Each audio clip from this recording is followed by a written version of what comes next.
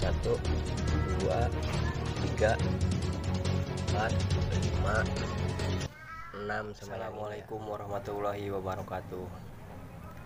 Jumpa lagi bersama saya Henry Satria.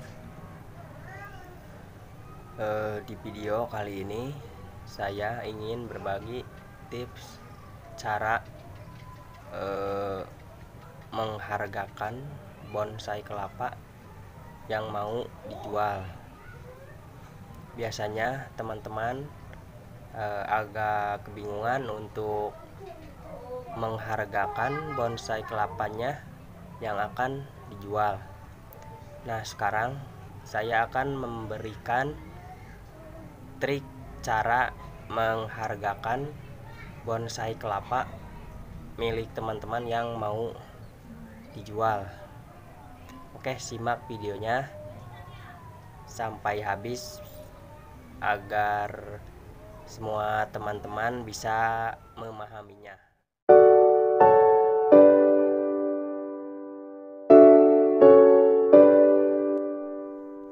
Nah ini dia oke teman-teman ini saya akan kasih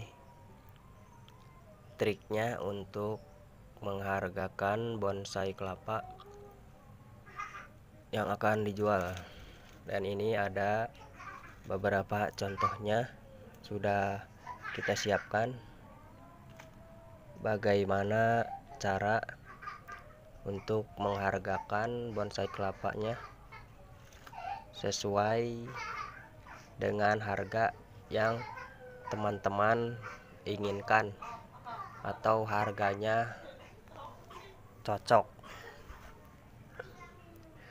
Namun yang pertama teman-teman juga harus mengingat dari awal penanamannya mengingat tentang adanya daun kelapa dari mulai daun yang pertama karena ini eh, ini triknya cara menghargakan bonsai kelapa ini boleh kita menggunakan cara dengan menghitung berapa daun yang telah keluar. Contohnya seperti ini ini yang saya ingat dulu. Saya pernah membuang daun yang pertama.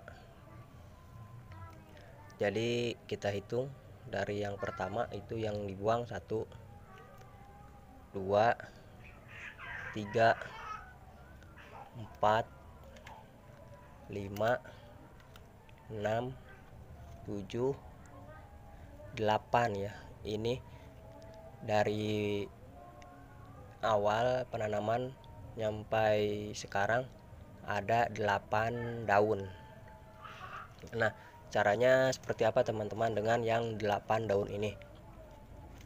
Dengan yang 8 daun ini kita hitung saja dari per daun ini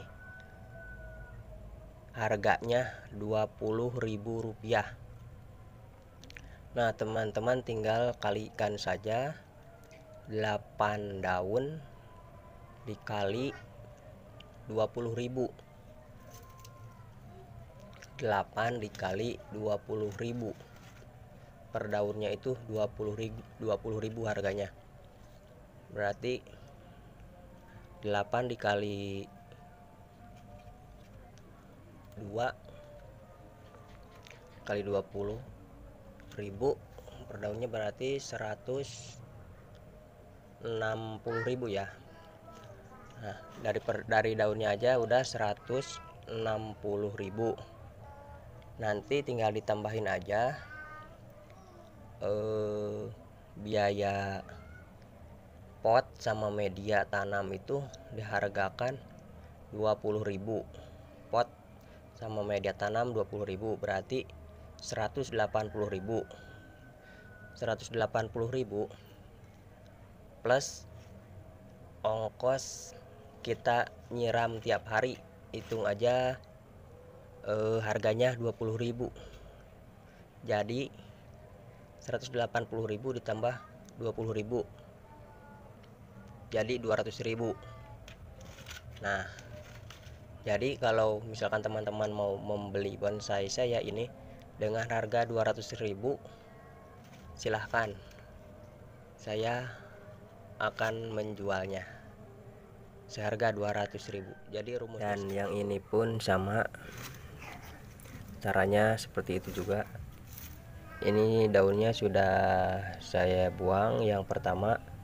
Jadi kita hitung dari yang pertama 1 2 3 4 5 6 sama yang ini ya. 6 dikali 2 berarti 120 120.000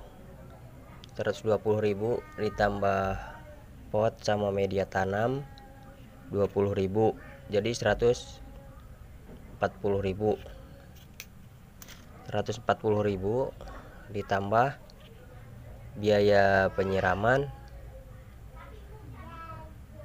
20.000 jadi 160.000 nah jadi kalau yang ini saya hargakan 180.000 dan ini pun sama caranya seperti itu. Tapi yang ini saya udah buang dua daun ya. Dua daun dua daun dua tiga empat lima sama yang ini. 5 berarti 100 tambah 20 tambah 20 jadi harganya 140.000 untuk yang ini saya hargakan 140.000 Oke teman-teman mungkin itu cara trik saya untuk menjual bonsai kelapa. Maaf ya syutingnya ini malam-malam soalnya ada Eh, banyak permintaan dari teman-teman yang ingin tahu bagaimana cara menghargakan bonsai kelapa. Dan itu mungkin trik yang masih bahan ya yang masih bahan. Kalau untuk yang udah pecah daun mungkin triknya beda lagi. Tapi bukan berarti harus menghitung satu persatu yang pecah daun ini ya. Enggak logikanya enggak begitu ya mungkin dari ukuran batok minion juga mungkin beda lagi triknya. Dan untuk yang udah usianya setahun lebih atau udah berbonggol mungkin beda lagi cara trik menghargakannya. Hmm, kalau untuk yang masih bahan mungkin saya kasih triknya seperti itu. Mudah-mudahan teman-teman bisa memahaminya apa yang barusan saya jelaskan. Dan semoga semoga bermanfaat dan membantu juga ya tentang menghargakan bonsai kelapa yang sekarang mungkin teman-teman sudah banyak memiliki koleksi dan ingin menjualnya. Namun bingung untuk menghargakan bonsai kelapanya. Oke teman-teman.